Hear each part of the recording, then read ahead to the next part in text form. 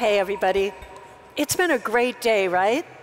And we're in the home stretch now. So I'd love to invite anyone who would like and who feels comfortable participating to do a little exercise with me.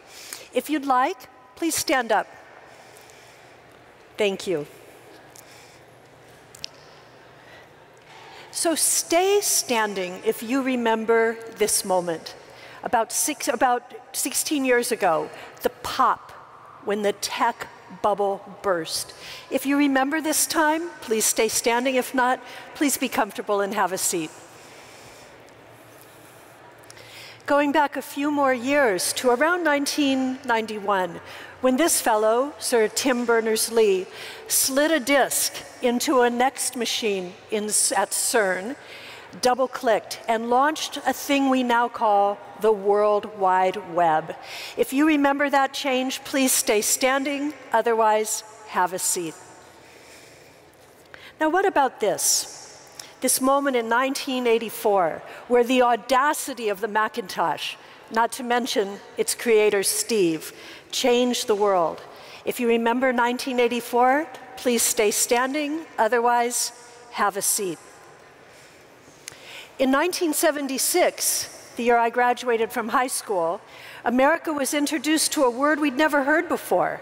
It was called energy independence. It changed the way we thought about resources, fuel, power, consumption, and certainly the way we drove our cars. If you remember the sorry no gas sign, please stay standing. Otherwise, have a seat. 1969, we landed on the moon. Have a seat if you don't remember that moment. And look, we're thinning out. In 1960, you know, there was a time when someone would get the mainframe to whir and lights of entire buildings or even entire cities would go down. Please stay standing only if you remember those days. So look at who remains standing. That's great. Thank you so much.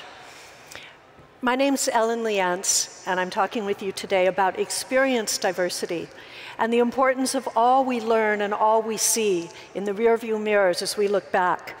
And you know, the game of life is long. And I've found that the experiences we collect as we play this game tend to bring us lessons we couldn't get anywhere else.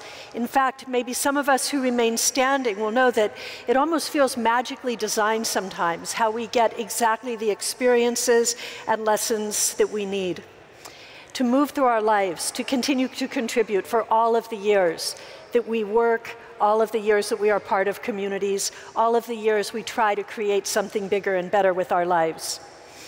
And yet there's this thing in tech that says only certain types of mystical creatures, very rare ones, have these gifts to contribute, have a way to pay it forward and add value to the world of tech.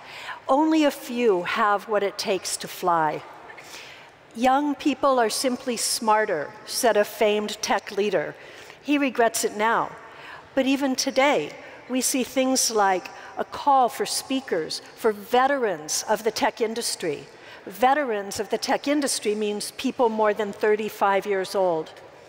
I want to mention to you that 35 years is exactly how many years I've worked in this world of tech. Now, every year has taught me something different, and year by year I found satisfaction building upon each ring, each ripple that has come my way simply through the time and through the experience of working in this industry. Yet we tech people think that growth stops at a certain age. It gets chopped down when we hit a certain point in our time or our career. And this really bothers me. It bothers me for two reasons. First of all, the lessons, the network, the perspective, the insights of the decades give me strength I couldn't have gotten in any other way. But it bothers me for a bigger reason.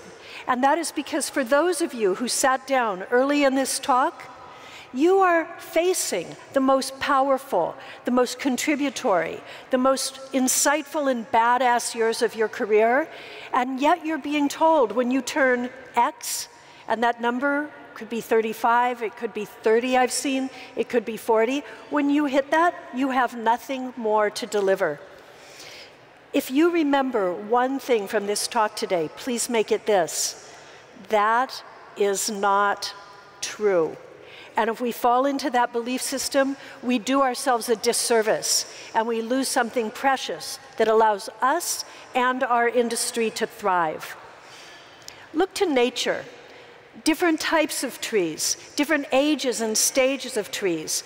That's what makes an ecosystem strong.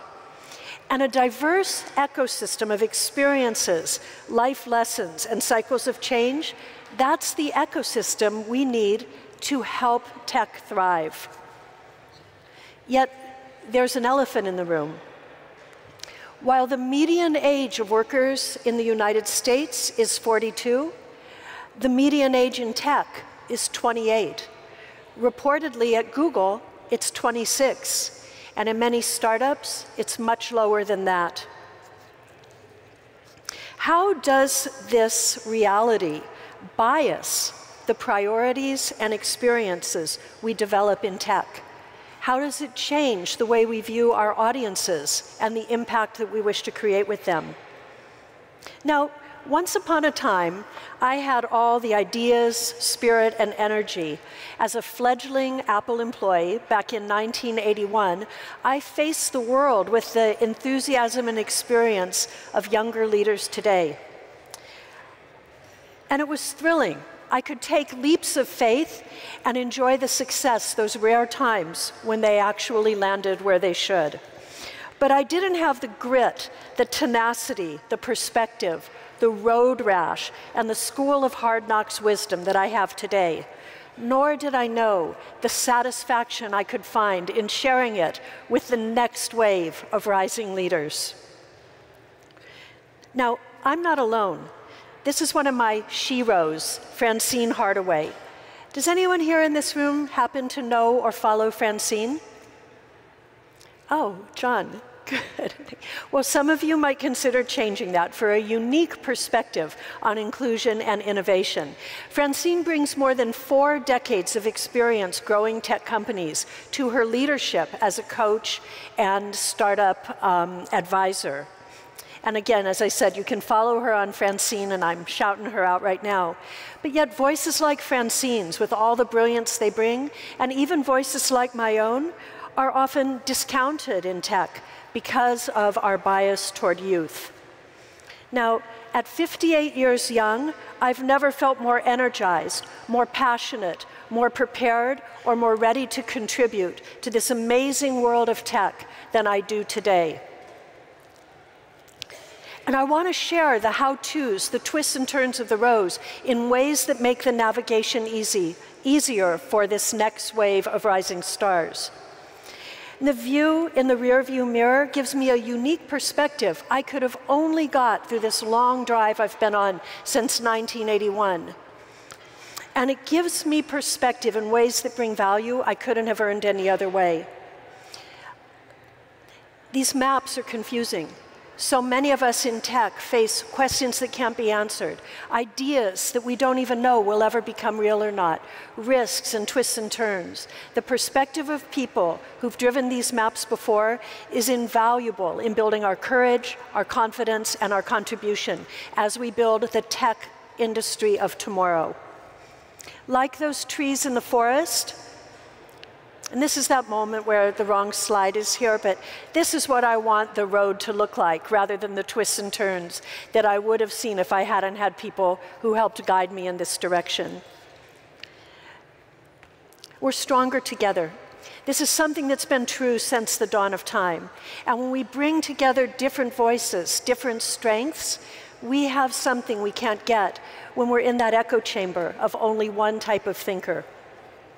In every human society since the dawn of time, we've called on our elders to enrich us, to empower us, and to drive the rising generation of leaders forward to their next level of achievement. Now, we are stronger together. And although an older hand might look different than the hands we see in this image here, it would bring a strength and support across the full stack that can't be had in any other way. We benefit from all of that diversity. Consider the advantage you could gain by bringing experience diversity from a range of ages, experience, and stages to your work as you build your path to success.